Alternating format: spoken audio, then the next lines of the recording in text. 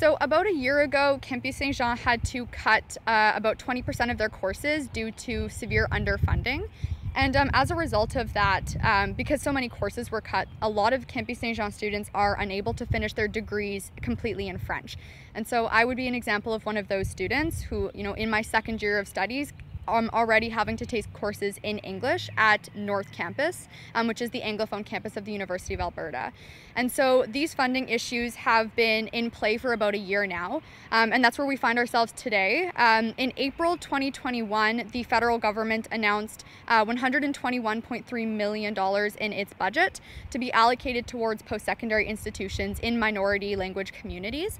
And so, as a Francophone campus in Alberta, the Campus Saint Jean is eligible for that funding. Um, however, there are some difficulties attached to accessing that funding because um, we require uh, financial support uh, on the behalf of the province of Alberta as well as the federal government.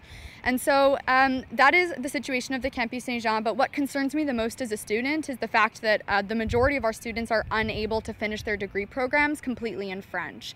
And so that is what's concerning, and that is why uh, on Monday, June 7th, we launched the Save Saint Jean, relaunched the Save Saint Jean campaign um, in direct collaboration with the Canadian or French Canadian Association of Alberta, um, which is a lobbying group that advocates for Francophone education in Alberta.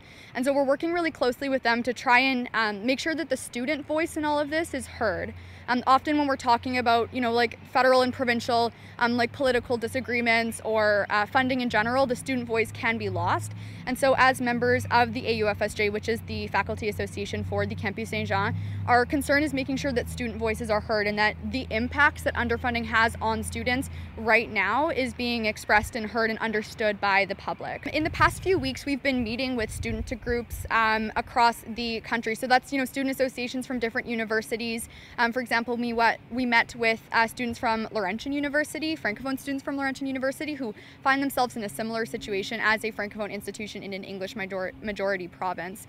Um, so we've been meeting with student groups um, just to try and create collaboration and partnerships between other Francophone students in Canada. Um, but it does go beyond that. We've also been meeting a lot with English students as well, because like our issue in general really goes to the heart of bilingualism in Canada and like preserving bilingualism, specifically in Western Canada.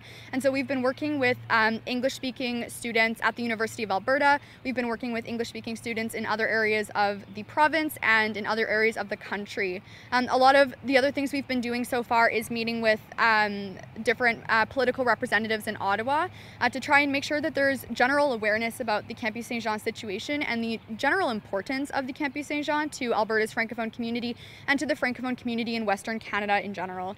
So, in the next few weeks and months, we're hoping to continue these meetings continue to work with other student groups, um, really to make sure that, uh, you know, there's a general recognition in Canada for the importance of Francophone education and the importance of preserving bilingualism in general, uh, specifically in Western Canada, but I mean in the country as a whole.